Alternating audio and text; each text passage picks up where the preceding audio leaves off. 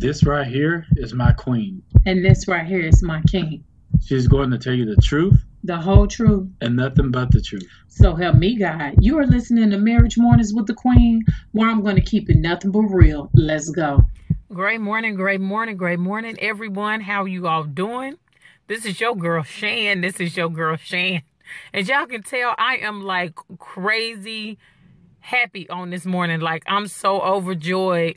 Oh my God. Just to know that God oh brought me and my husband together to do that awesome show on yesterday. It is still so unreal to me the things that God can do when we line up with his vision and plan for our lives.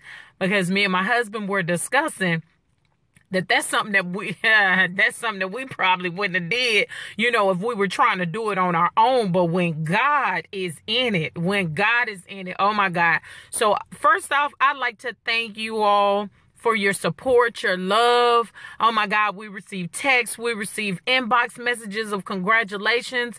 The feedback that you all were giving. Good morning, Tasha, during the show man was so unreal. And so I'm going to continue to ask that we continue to do this together. If you have any questions, if you have any topics that you desire to be discussed, of course, me and my husband will take that into consideration and we will pray over that thing because we have to do what God gives us.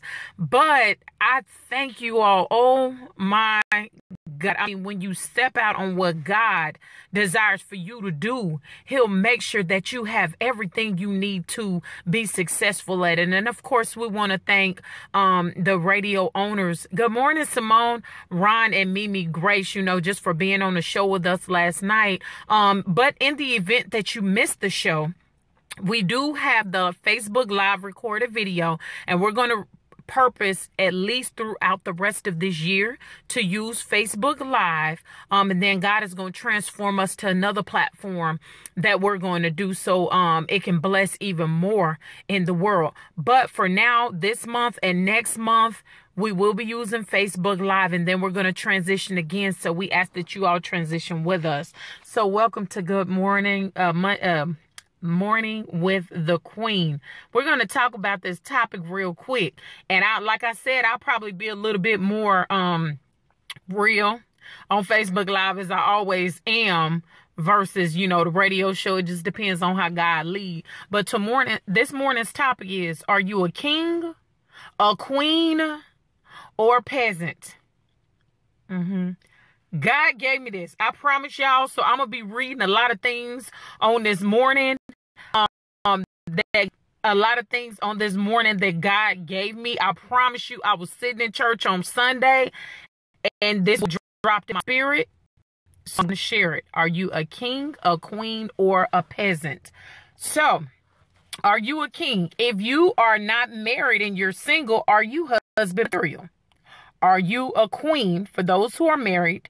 Um, for those who are not, are you wife material? Now, when I'm talking about king and queen, of course, I'm talking about, you know, those who are married, husband and wife. I'm not um, denouncing anybody who see themselves and wear that crown on their head as a king or a queen. And just because you're not married, you're not such.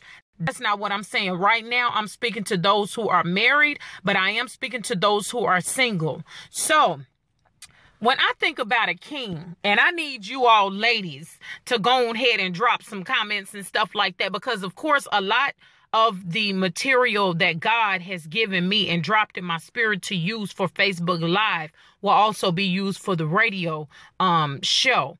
A lot of people say, dang, Shannon gets so good, I get into it. And then you say, okay, well, I'll see y'all tomorrow. And I'll be like, no, it needed to longer than that. Well, guess what? God gave us a whole 60 minutes, okay, on the radio show. But let me get to it. When I think about a king, I'm thinking about how God set it up as husbands.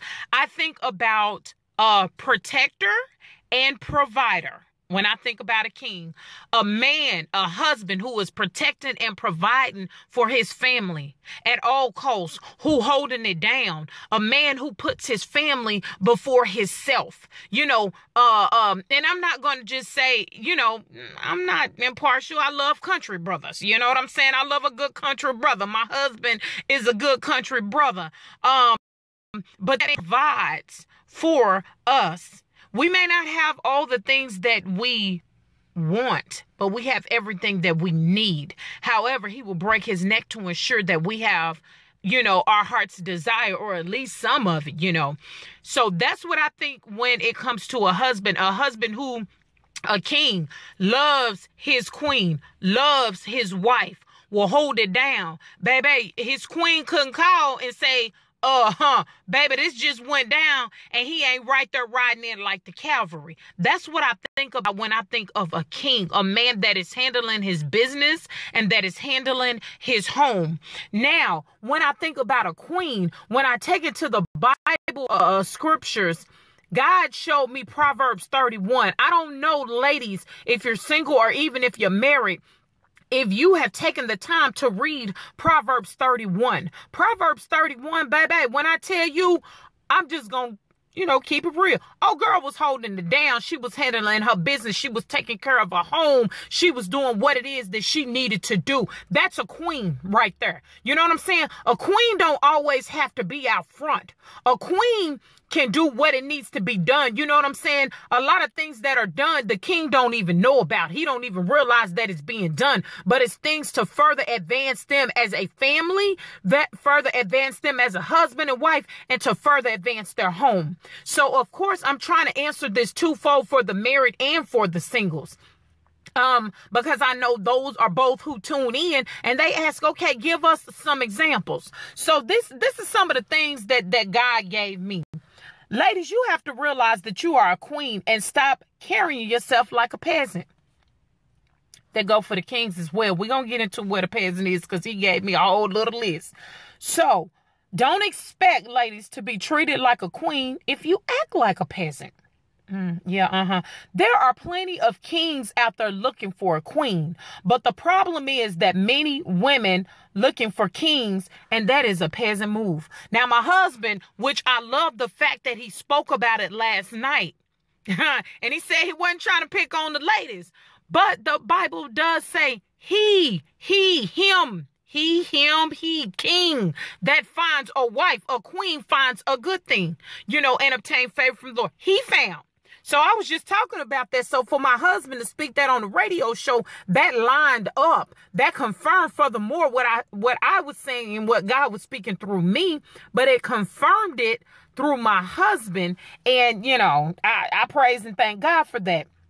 Just because you have the title don't mean that you are really wearing the crown. Meaning if you're a king, you're a husband. If you're a queen, you're married. Just because you got the title, you you might not be wearing that uh that uh crown right. You might not even be wearing that title right. I'm not trying to pick on anybody because I don't know your business. You know, uh, of course, by our last name, no pun intended, king, queen. That's what they used to call us in the military, the king and the queen. And God brought that thing, that was in the in the natural, but God brought that thing back around in the spiritual.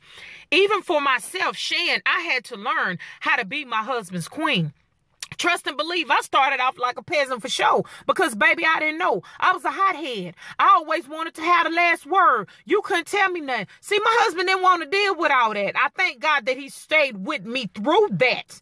But that was some peasant uh, tendencies right there. And speaking of peasant tendencies, you know, I'm going to go ahead and go uh, uh, down the list that God dropped in my spirit. I was like, oh, okay. Good morning, Delisha Hey, sis. What peasant tendencies? And then to the king, the queen, or if you're not carrying yourself as a king or queen, you might have some peasant tendencies that we need to work on and go before God. When you always walking around with an attitude, yeah, peasant tendencies, attitude. Don't nobody want to deal with that in a marriage 24 7. Uh, when you're always walking around bitter. Now, how this is for my singles. How you gonna walk around uh, uh bitter and and with an attitude, but you talking about you waiting on your Boaz? You waiting on your queen. Don't nobody want to deal with that. Don't nobody because guess what? If you showing me what you gonna be like before I say I do, huh? I ain't trying to be married to you. I'm just saying, uh, you'll know it all. You always gotta have the last word. Don't nobody want to be dealing with that 24 7. I'm just saying. So th- that uh, peasant tendencies let us keep on pushing. Always have to be right. Always have to have the last word. Punish others for what someone else has done to you in the past. That is a peasant tendency. When you punishing your husband or your wife for what your mama, your daddy, your ex have done to you in the past, your cousin Pookie and them, whomever. Don't be punishing me for what you went through in your past. What you need to do is you need to deal with your past. Quit trying to brush it under the rug. Deal with your past so I don't have to get the repercussions thereof. Uh, peasant tendencies, let us continue. You're thirsty. Uh, you're selfish. You're money hungry. You a user. Yeah. Uh, and you always want to receive but hardly want to give. Those are peasant tendencies. That is not that of a king or a queen. Because guess what? When you mature, and my husband said it last night, that thing was so awesome. When you mature, because I had to mature, who you see now, 18 years ago, mm-mm, child, mm-mm. Not even with the looks, honey. I was ready to fight at a moment's no. What you say? What? What? I mean, yeah, no, uh-uh. But I had to realize I'm my husband's wife. Not only am I representing my husband, but I'm representing God.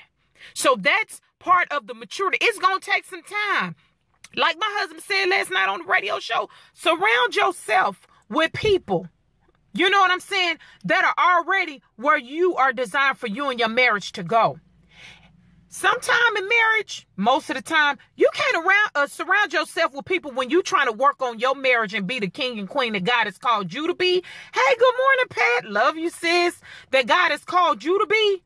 And then you turning around and you having to deal with everybody's unnecessary drama in their marital situation or their relationship situation.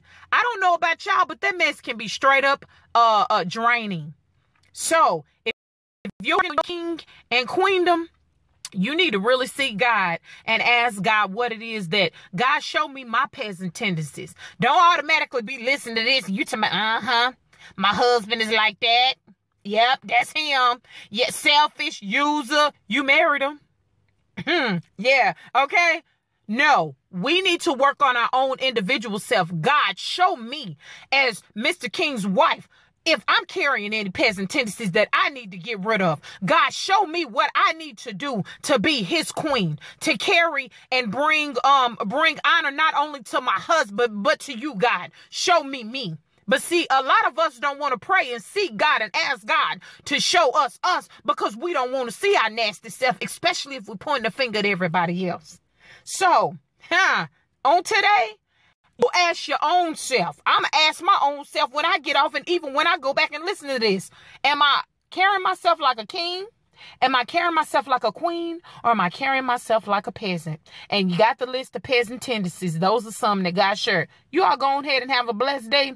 Blessings to you. Don't let anybody steal your joy. Share this because it's free. And you never know when you share who you bless because you don't know which one of your friends is going through in their marriage. It's not for us to know, it's for us to pray. So y'all have a blessed day. I'll be with y'all tomorrow. Thank you again for your support. Please, we're asking because we have to do this as a village in order to help save marriages, to build stronger um uh, uh communities and stronger families. Blessings to you. God bless. Love you all. Bye bye.